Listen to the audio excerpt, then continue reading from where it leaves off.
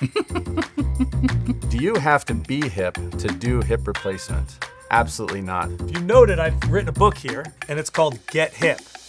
Hi there, my name is Dr. Ivan Tomek. I'm Dr. Wayne Moschetti. I'm Alex Orem, and I'm an orthopedic surgeon here at Dartmouth Health. Today, we're here to answer your questions about hip replacement.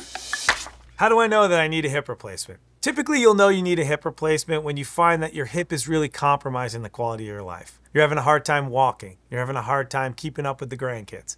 Hard time going up and down stairs. Commonly for folks, when you can't sleep anymore because your hip's waking you up, you know it's time to consider surgery. We recommend trying multiple non operative things first, such as over the counter medications, physical therapy, maybe an injection. If you've tried those things and they're no longer working and you are still having significant pain, then a hip replacement might be right for you. What is recovery like after hip replacement?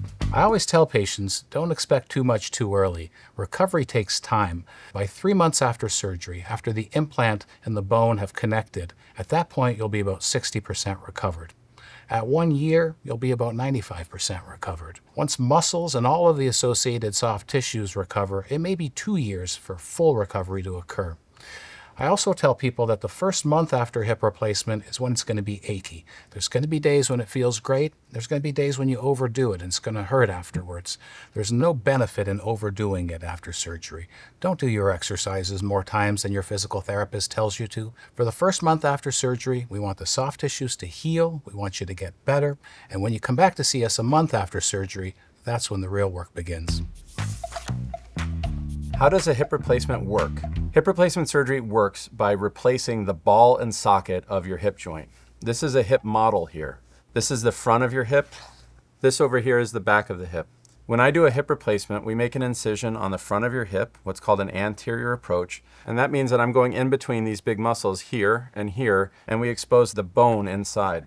Once we get into the hip joint, one of the very first things we do is remove the old arthritic ball at the top of the femur. And that ball on the top of the femur loses its cartilage in osteoarthritis, and part of the operation involves replacing not only the ball and also the socket.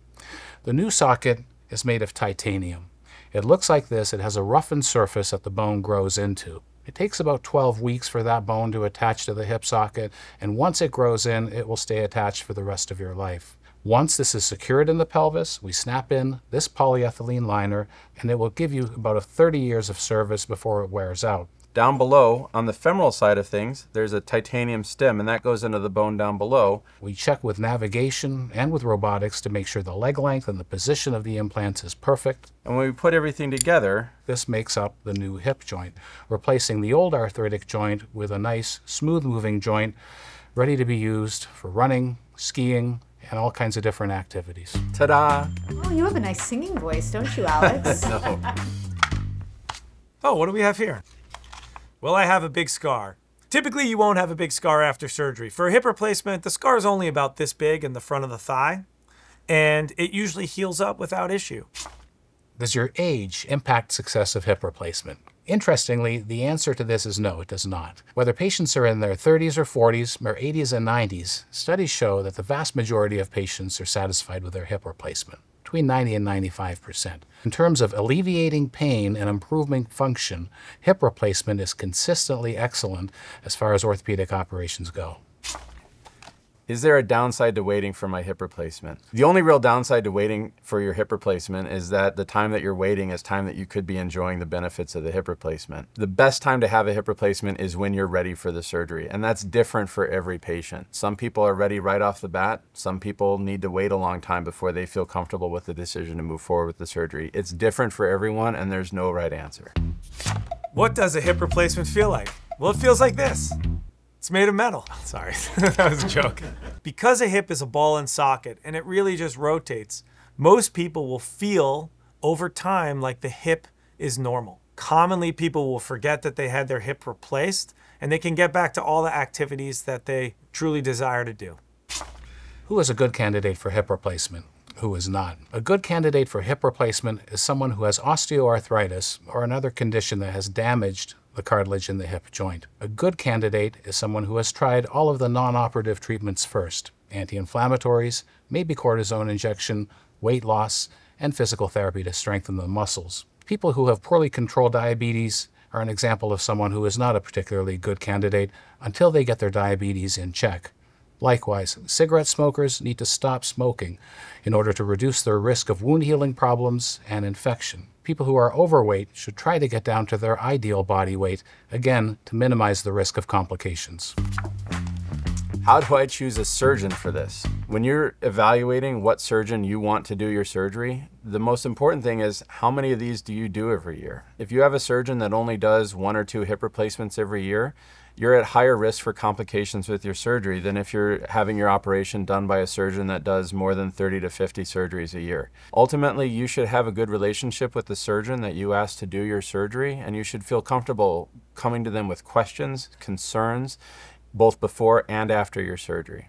Alex, how many surgeries do you do? In a normal day here at Dartmouth Health, I will do anywhere from four to eight joint replacement surgeries. In the past year, I performed over 600 surgeries. Every week, four on Tuesday, four on Thursday.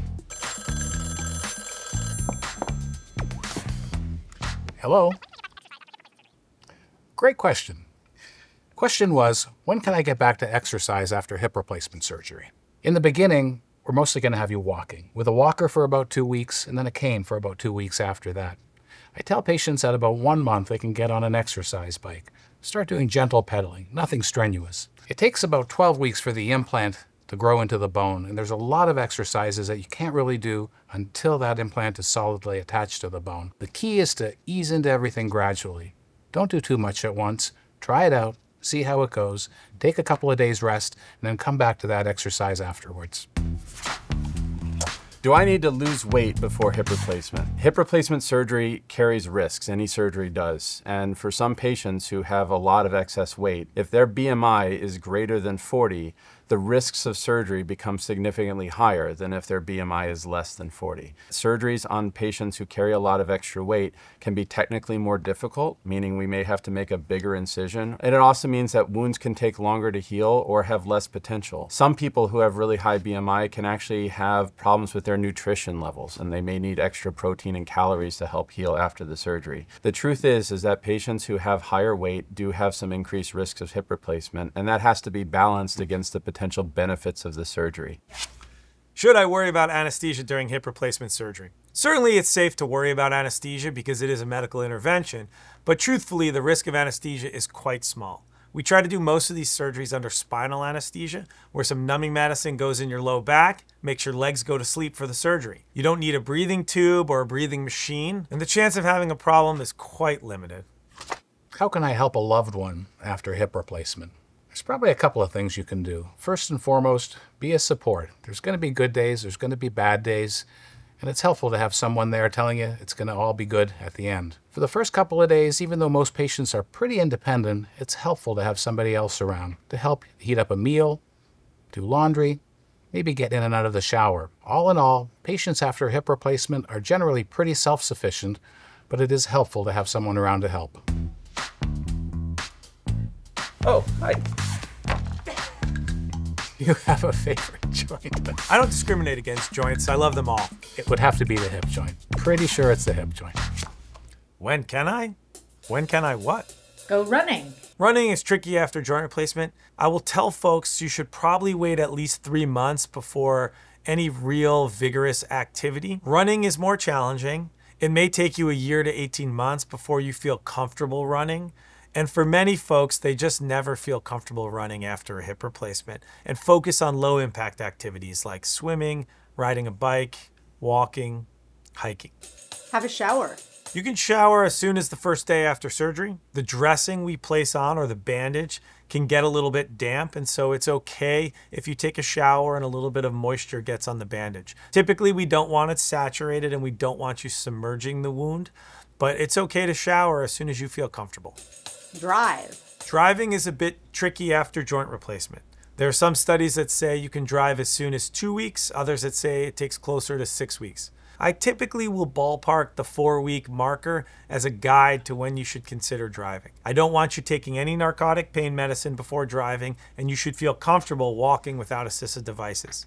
Typically, before you drive, it's a good idea to practice in a quiet neighborhood to assure you can get your foot from the gas to the brake safely and efficiently so that you can stop your vehicle.